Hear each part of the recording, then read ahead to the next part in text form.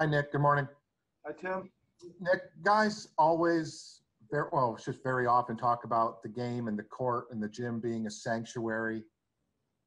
Does that ring true more than ever now, or in these times, does a sanctuary even exist from tension, fear, anger that we all sort of are dealing with right now on some level? Yeah, good good one, Tim. I think that it's probably somewhere in the middle. I mean, my sense from watching yesterday was it took uh, teams a while to get going.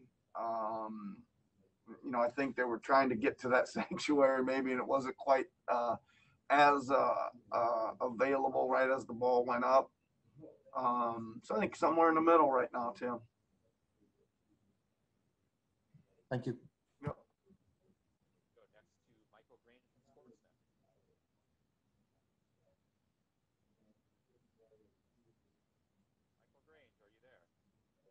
you there? Still have your room? Oh, Good, Hi, Michael? Michael. Go ahead. yeah, sorry, I couldn't hear Rovin there. Um, just to follow up on Tim's question, did you notice progress from Thursday, Friday, Saturday in terms of kind of the, the weight that your group seemed to be feeling or showing?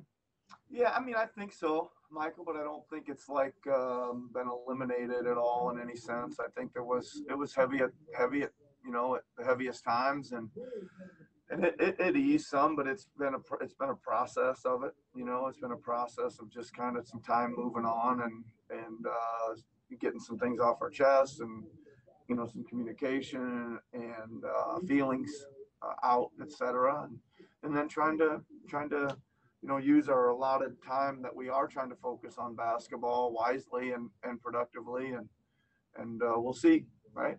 That's what that's what we all wanted to see when the ball goes up here today, where where we are. As a follow-up, uh, Brad Stevens was, was, you know, complimentary about how, how good you guys are at over helping defensively. It's why, you know, you're so good with, with turnovers and things, deflections. Is there, uh, can, you can, can a team over help? Uh, and if so, what happens? What does that look like? Um, Like over helping is a good thing, but can there be too much of it? helping. Exactly. Yeah, Yeah. well, yeah, I'm- I'm sure. I mean, I think there's certainly a balance there between, you know, what you're what you're trying to take away, what you're willing to live with, and sometimes if you're going all out to take one thing away, you're getting punished with with what is open. I mean, it's it's one of the things you would you would um, obviously say it's really hard to guard guard in this league. It's really hard to stop stop these guys and these teams and these schemes and and stuff. So there's kind of a, a pecking order at times of what you're what you're trying to limit or what you're trying to take away, and then because of that, you've got to be willing to live with something sometimes. And then I think it's just um, how much of the stuff you're willing to live with, uh, uh, what what kind of strike rate that's coming at you. At, you know what I mean? I do. Yeah. Thank you. Appreciate it. Next, we go to Doug Smith from the Toronto Star. Hey Nick, how are you today? I'm good, Doug. How are you? I'm good, thank you. In your history, does what you want to live with or be willing to live with change game to game, or does it mean does it stay the same in a series? No, I think it changes. Maybe it changes, uh, Doug, quite often. You know, I think might might change either in the course of a game or even even a quarter. Sometimes I think you go into a, a thing with a game plan and and you hope that your historical study and things you, you've made the right decisions, but you're not always right on that stuff. So you're changing course pretty quick. Um, but yeah, I mean, I mean, usually you're you're really there's some there's some foundational things you're first and foremost trying to do, but you know it changes with who you're playing and the matchups and and the schemes you're trying to trying to work out there and and uh, kind of make it crafted or adjusted as you go. Does having a relatively high basketball IQ roster help with that process for you? Well, it's it's it's enabled us to do a lot of a lot of stuff, Doug. I think, you know, you you and I have talked about uh, a lot in the past of all the things I was kind of amazed that they were able to pull off from Yeah. one time out to the next. You know, absolutely switching coverages of because of the the other team would flip sides of the floor or whatever whatever, and we'd be able to flip our coverage immediately, and they they they'd execute it right out of the deal or or whatever. So yeah, there's there's a lot of a lot of stuff these guys are capable of handling. Thanks very much, Nick. Appreciate it. Thank you, Doug. Next question question goes to Eric Koreen from The Athletic. Hey, Nick, good morning. Um, first of all, we know Kyle's available. Other than monitoring him, uh, is he under any sort of limit or is he normal? I, mean, I wouldn't think so, Eric. Again, we're gonna have to see, you know, um, how it goes, uh, once we get out there for real. But he, he, I would say at this point, there is no, no limit. There, there may be a bit of something in the first half or something until he gets his condi, you know, he's, he's conditioning might be, I doubt it though. But, you know, he's playoff game. He's been through a lot. He knows how to manage stuff pretty well, but we'll see. We'll see. Um, as well, th- this series on both sides, it's full of sort of versatile defenders. Like your guards obviously have no problem guarding up in size. Uh, Marcus Smart can do the same, a- and some of the bigger guys can guard small. Do you see this as a series in which both teams try to get certain matchups, or does it feel to you like more of a we're going to see a lot of different things over the course of the game?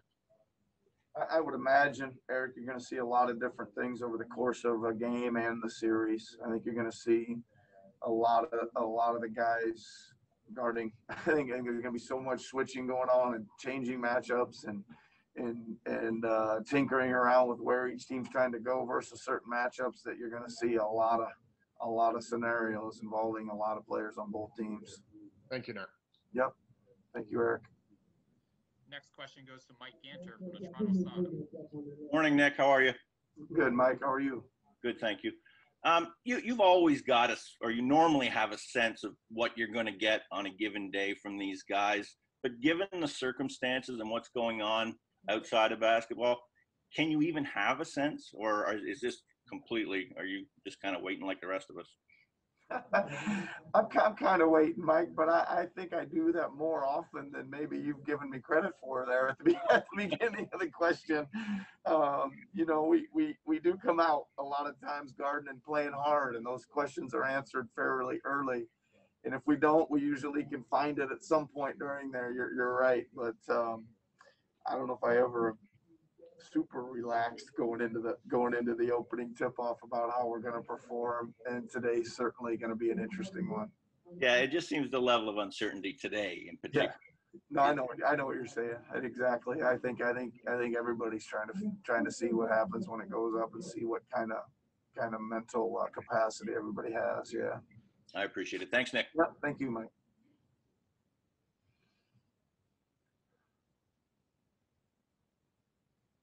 I guess I'm up. I didn't get announced. Uh, Will's Um, having troubles with his mic, Tim. so Oh, we're gonna- okay. No, all good. I, I was just waiting to see if he was going to say it. Go ahead, Uh, Tim. Every everybody's uh everybody Nick has been kind of waiting for this series for several months now. I think it's safe to say. Um, a- as you head into it, what are a couple of things that you're looking at to kind of determine how you think it's going to go in terms of stuff you're focused on that you need to do well to win? Well, uh, Tim, I think that uh, kind of a uh, very two two two good teams, two teams playing well, two very similar teams. Uh, I think both teams kind of kind of can get set up and guard go on go on runs defensively. Um, I think there's some versatility in the scoring around around the the rosters.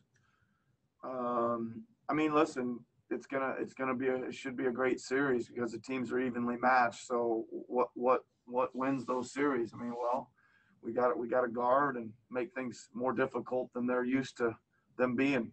We got to keep them off the glass. You know, we've got to we've got to finish at the rim better than we than we have. We got to knock down open shots, but then then Tim, you know these these games a lot of time comes come down to that last four, five, six minutes, right? Who who makes the who makes the uh, tough, smart, winning basketball plays usually determines a series like this. Thank you, sir. You're welcome. And final questions going to Aaron Rose from SI.com. Hey, Nick, I think you said yesterday that uh, it sort of feels like another restart almost. Um, I'm wondering if, if you still kind of got that sense today and um, if you can expand on what you meant and how that looks. Yeah, it just, it just feels, uh, Aaron. I know it. I think it's been a week exactly since we've played, but it just it just kind of I think with the circumstances, you know, um, I think there was a moment of are we going to play or not, going on, you know. So like like the the it was you know kind of time to shut the engine off and take the keys out, you know, and and kind of decide what's what's happening. And then there was a long moment of okay, we are going to play. Then then when? Um, so I think it's just you know it's not awfully long, a week, right? I mean that could happen in a playoffs anyway, but I think just the circumstances of of what happened made that week feel like about three.